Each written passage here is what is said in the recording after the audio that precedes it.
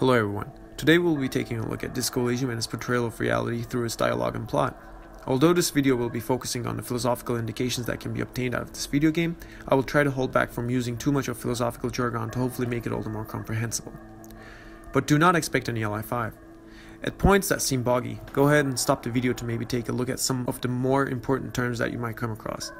I will also leave some links below for terminological assistance.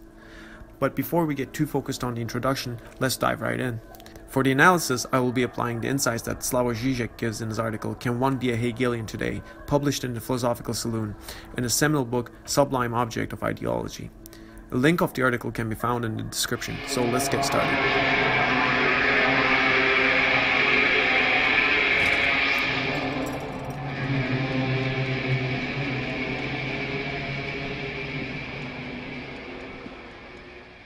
Disco Elysium is an isometric artsy RPG with a very idiosyncratic system at its heart. This system combined with the story and the themes threaded into the game make it up to the great RPG that it is. I wanted to especially keep this video free of spoilers for the others to enjoy it more so I will be trying to explain what the game is effectively portraying by taking one of the side quests that you come across as an exemplary notion of the game. You take the role of a police militia detective in a town called Revachol, in a parallel universe that is only different in its content, but the form of how our history has unfolded is kept in a very interesting way, trying to understand the nature of a hanging that happened behind a cafe hotel a week ago. While going through the town, you come across many well written characters who are sometimes intertwined in with the plot, and sometimes in a way that the game talks of itself, of its project, through a side quest that seems completely irrelevant. The side quest that I will be taking as example is the curse on the bookstore. The quest starts if you try to go past some curtains on the far side of the bookshop in the first area of the game, and the shopkeeper warns you several times, and if you look through the curtains, not going fully through, you can use this to snatch the task from the shopkeeper. The shopkeeper seems to be very much interested in parapsychology and the paranormal. She gives you the task to go up to the chimney, to the uppermost part of the apartment, and do something about an entity before sending you off. The game itself always lures you into a sort of paranormality with the Inland Empire trait. So that there's context to what I mean, the character functions almost like a person with many split personalities. All of them in their one sidedness assert a certain aspect that seems important about the situation at hand. For example, the logic trait, if it is high enough in a given situation, can give you a tip or a logical conclusion about what has happened or what has been meant by what the NPC has said, but it is never complete in its own. Other trait projections are intertwined also with logic in the sense that they also fill in the gaps in their partiality. Back to the crux of the matter. The narration of the side quest almost always takes this turn of, oh yes, there's something there, behind there, behind the veil. Anyway, the quest in itself is pretty straightforward. You go through the many floors and rooms of the building, encountering many failed businesses, not knowing precisely why they all failed. The shopkeeper has a pretty good idea on what is going on. The curse of economic depression is the cause of it, not economy and the material relations that it is caught in, but some sort of parasite, paranormality that causes the material relations to collapse. The only reason why her business hasn't failed is the dream catcher and the mambo jumbo that the shaman gave her, while that is so in her understanding. I was wondering if this anxiety, being very stern and all, kept her business up by effectively scapegoating a curse, a sort of narrative with a hole in it that sustains her idea of reality, or was it so that she needed this idea of a curse to relate to her beliefs, not the situation at hand?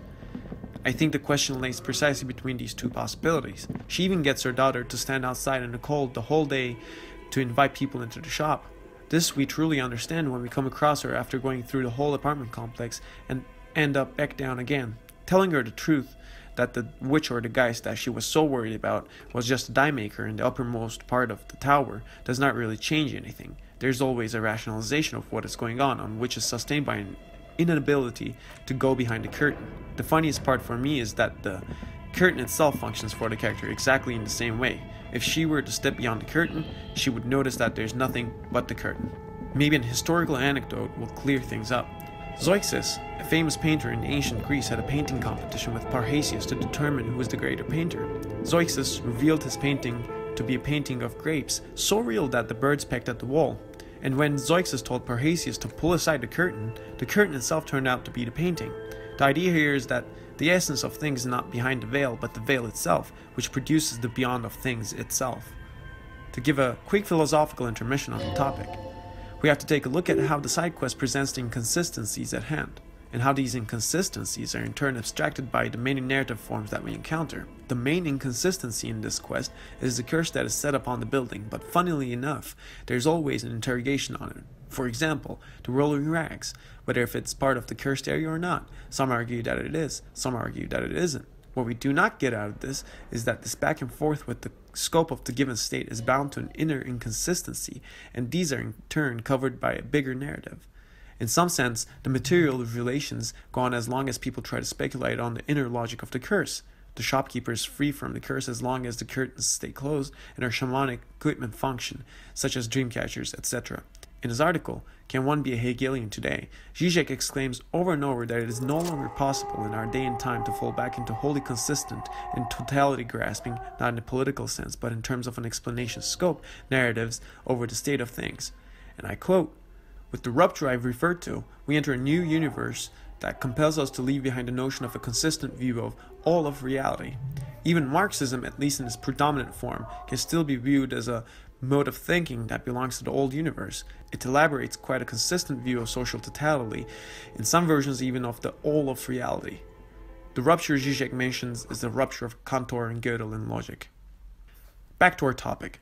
So the inconsistencies of the economic depression curse that has befallen the area are conceptualized in two ways.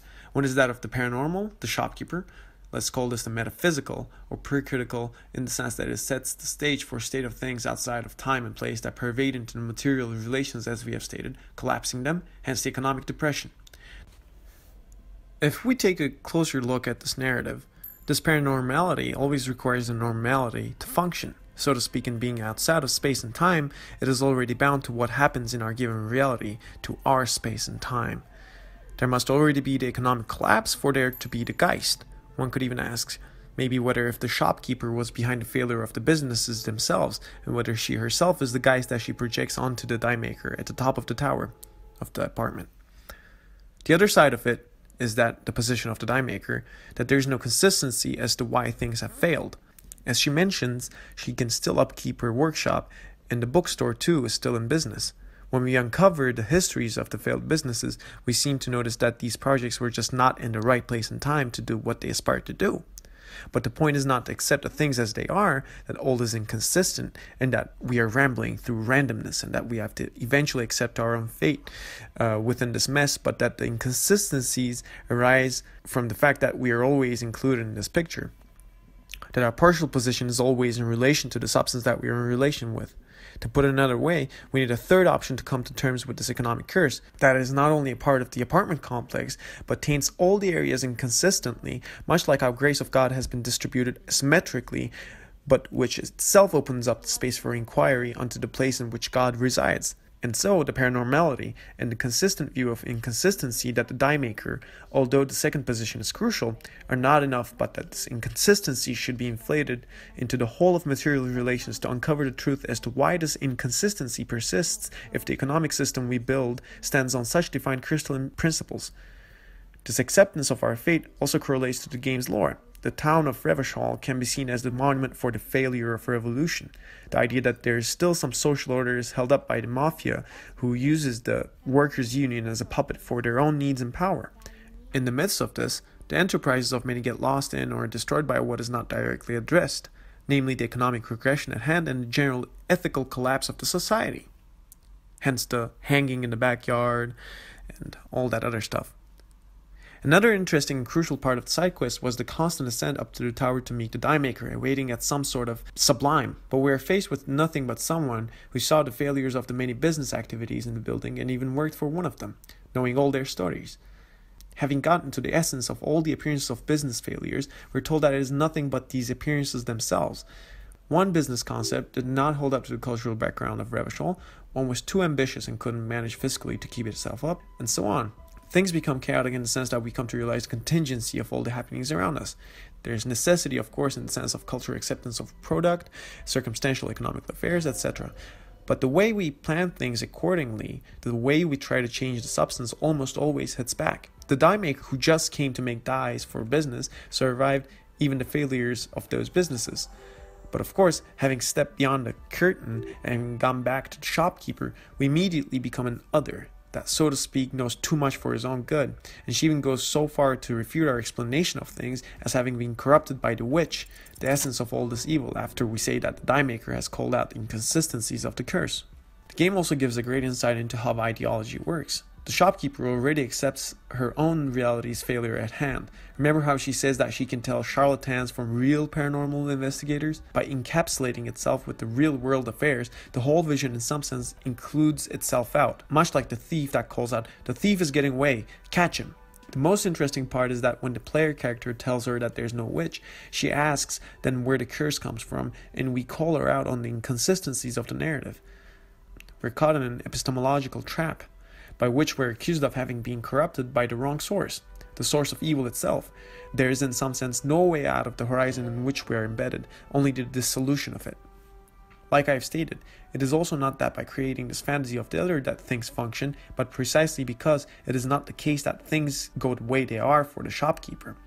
I have to quote Zizek from his book Sublime Object of Ideology. The crucial paradox of this relationship between the social effectivity of the commodity exchange and the consciousness of it is that, to use again a concise formulation by Sohn-Rethel, this non knowledge of the reality is part of its very essence.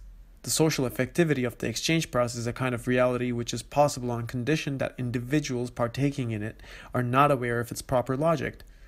That is, a kind of reality whose very ontological consistency implies a certain non knowledge of its participants. If we come to know too much, this would pierce the true functioning of social reality. This reality would dissolve itself. This is probably the fundamental dimension of ideology. Ideology is not simply a false consciousness, an illusory representation of reality. It is rather this reality itself which is already to be conceived as ideological. Ideological is a social reality whose very existence implies the non knowledge of its participants as to its essence, that is, the social effectivity, the very reproduction of which implies that the individuals do not know what they are doing. Ideological is not the false consciousness of a social being, but this being itself insofar as it is supported by false consciousness. The subject can enjoy a symptom only insofar as its logic escapes him. Does not the false consciousness, the idea of a metaphysical, all encompassing energy with its evildoers and such, only cover the fact of the social reality, in which the reason why her business does not fail is through her own iron hand by which she exploits her own daughter, and even tries to take out the only competition in the building by way of this paranormal idea that she's one up in? Or maybe the only reason why her business did not fail was the fact that her business is merely mandatory within the community, as it is the only bookstore? The only way that she can keep to herself, so to speak, stay the way she is and take part in the economic exchange in the same curse she designates as the root of all is by abstracting from it. Or to end with a quote from Family